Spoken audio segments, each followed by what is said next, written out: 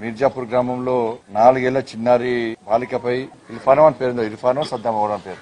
నోటి వేసుకోవడం కూడా నోట్లకి మాట నోటి ఖరాబ్ అవుతుంది.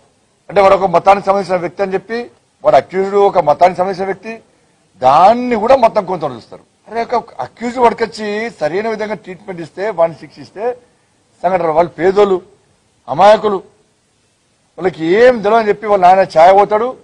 వాళ్ళ అమ్మతనేమో ఐదు పేపర్లలో బ్లాంక్ పేపర్ సంతకాలు తీసుకుంటారు. మీకు ఏం లేదు ఇంటికి పోండి. మేము పిలిచినప్పుడు రండి.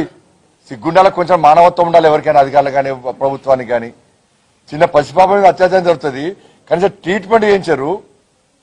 అమ్మాయికి ఏం జరిగిందో కనీసం అడిగారు మీరు.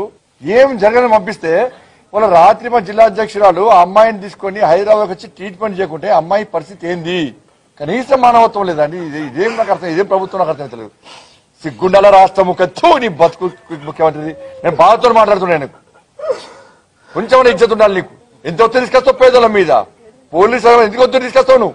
నీకు లేరా పిల్లలు భయంసాలో ఏదో జరిగిందట అదే దీనికి ఇబ్బంది అవుతుందట. దానికి సంబంధం ఉందా? దానికి దీనికి?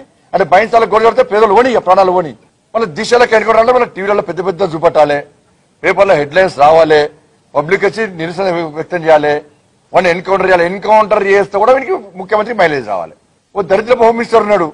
హోమ్ మినిస్టర్ వాడు తెలియదు. తెలిసిన వాళ్ళకి మాత్రం ఎవరి వాళ్ళకే తెలుస్తుంది హోమ్ వాడు ఆయన ప్రెషర్ చేస్తాడు వాళ్ళకి ఏం కావద్దు. వాడు దొంగ అయినా రౌడీ అయినా లుచ్చా లఫంగా ఎవడైనా కూడా వాళ్ళకి ఏం కావద్దు అని కాపాడాలి. ఒక రాష్ట్ర అధ్యక్షుడిగా ఈ భాష మాట్లాడద్దు.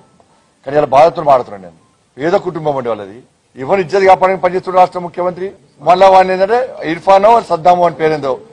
వాడిని మళ్ళా కాపాడే ప్రయత్నం చేస్తున్నారు. ఏదో విధంగా ఇట్లా కాపాడాలి వాడిని. నిన్న జరిగినప్పుడు జిల్లా పోలీస్ అధికారులు ఎందుకు మాడతలేరు ఏడవండు టీఆర్ఎస్ పార్టీ నాయకులు మేము పోటీ కాలం మేమే సెక్యులర్ వాదం అంటారు కానీ మేము అన్ని మతాలను సమానంగా చూస్తాము. అందరూ మాకు సమానమని చెప్తారు కదా టీఆర్ఎస్ పార్టీ నాయకులు. చట్టం తన పని తాను చేసుకోవచ్చు ఏమైనా చట్టం నీ చట్టం?